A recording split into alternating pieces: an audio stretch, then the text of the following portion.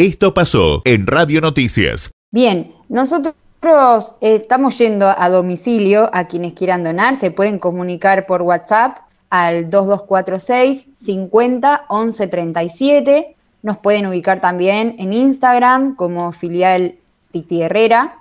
Y si no, los invitamos a toda la comunidad el día sábado 25 eh, a partir de las 17 horas en el rústico, en la cancha de Mar del Tuyú, en 58 entre 11 y 12.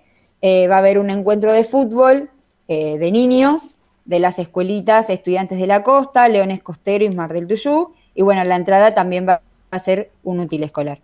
Bien, bueno, dentro de las acciones que tienen programadas para este año, esta es una muy importante, eh, pero ¿qué otras cosas están pensando hacer?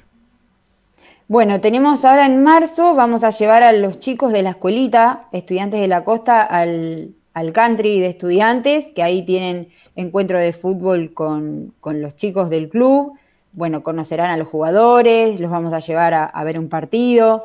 Eh, tenemos eh, como en la agenda muchos eventos solidarios, fiestas del Día del Niño. Eh, estamos tratando de localizar distintas entidades, ya hemos llevado ropas de donaciones también. Les pedimos a todos aquellos que tengan alguna ONG o alguna asociación y tengan alguna necesidad específica que se comuniquen. Nosotros como filial también tratamos de, trabajar con estas agrupaciones o asociaciones que a veces tienen ayuda, pero que necesitan por ahí algo puntual. Y bueno, la, unión hace la fuerza, ¿no? Entonces, bueno, estar atentos a esas necesidades básicas. Muy bien. Bueno, te agradecemos mucho este contacto.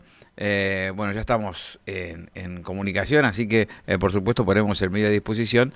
Eh, y te, te, adelanto, ¿no? Que ya el año pasado hicimos la campaña de gimnasia y de estudiantes de La Plata con Radio Provincia, cosa que vamos a repetir este año, así que este, la filial va a saber que puede escuchar los partidos si no viajan a La Plata o a donde sea a través de la radio. ¿eh? Vamos a estar este año también nuevamente, por supuesto que por las cuestiones del verano seguramente lo haremos a partir de abril, pero este, me, me, parece interesante, ¿no? Ya lo hicimos el año pasado con Radio Provincia y la verdad que estamos muy contentos con el resultado, así que te invitamos a escuchar los partidos a través de Radio Noticias que trae suerte. Claro que sí, ahí estaremos, estaremos atentos a la radio.